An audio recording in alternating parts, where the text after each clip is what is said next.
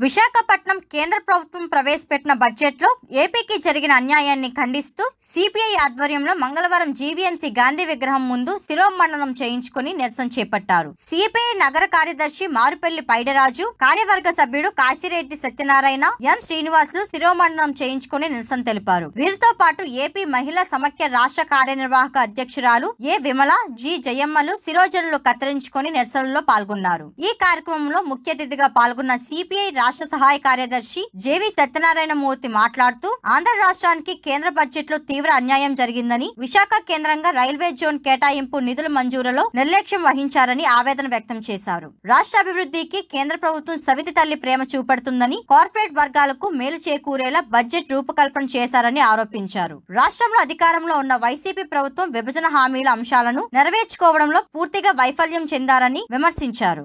రాష్ట్ర వ్యాప్తంగా ఈరోజు కేంద్ర బడ్జెట్కి నిరసనగా కార్యకలాపాలు నిర్వహిస్తున్నటువంటి తరుణంలో ఆంధ్ర రాష్ట్రానికి చేసిన అన్యాయంతో పాటు రైల్వే జోను అంశంలో కూడా మొండి చేయి చూపించడాన్ని విపరీతంగా రాయితీలు పెంచారు. కార్పొరేట్లకి రాయితీలు ఇస్తే ఆర్థిక వ్యవస్థ అభివృద్ధి చెందుతుందని చెప్పినటువంటి పద్ధతుల్లో ఈరోజు ప్రభుత్వం వ్యవహరిస్తూ ఉంది.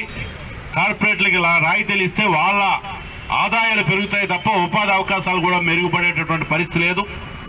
ఈరోజు మనం స్పష్టంగానే చూస్తున్నాం. నిన్న సెన్సెక్స్ ఒకసారి రెండు వేల పాయింట్ల పైన పెరిగింది. లక్ష ఎనభై ఆరు వేల